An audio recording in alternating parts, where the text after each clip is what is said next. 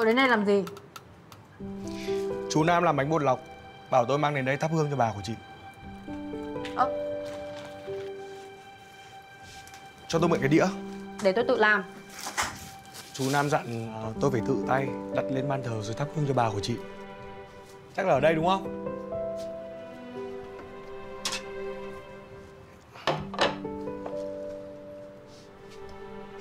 Tôi đặt cầu hộp nhá. Tùy cậu, muốn làm gì làm Đẹp mà.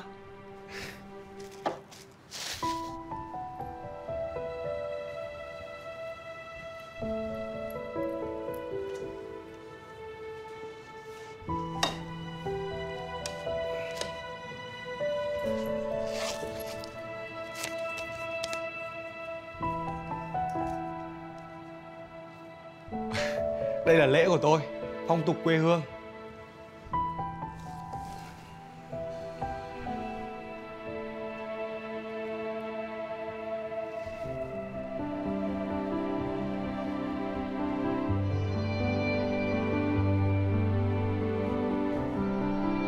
Ngày dỗ mà ban thờ đầy đặn như thế này Bà chị vui lắm.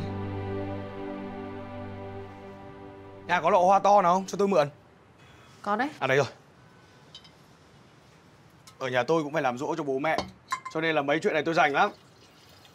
Lúc bố mẹ tôi còn sống Cũng rất yêu thương và chiều chuộng hai anh em tôi. Thế nên khi bố mẹ tôi mất Dù có chuyện gì Tôi cũng cố gắng Để hai anh em sống vui vẻ Như thế thì bố mẹ tôi mới yên lòng. Cậu đang cố động viên tôi đấy à? Tôi lộ liễu thế cơ á? Tôi không nói dối đâu. Cuộc sống dù có chuyện gì Thì cũng nên suy nghĩ tích cực. Bà tôi mất được nhiều năm rồi.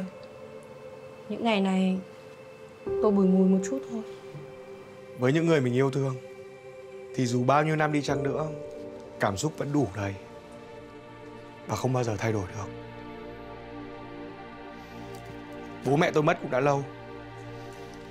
Nhưng tôi vẫn thương nhớ họ như những ngày đầu.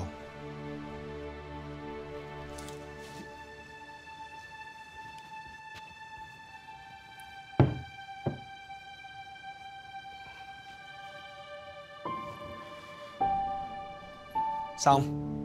Nhiệm vụ của tôi đã hoàn thành. Tôi về đây. Cảm ơn cậu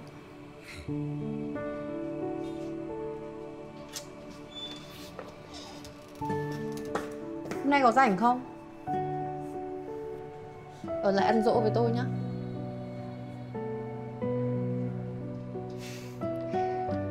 Chị không sợ tôi à? Cậu thì dám làm gì tôi?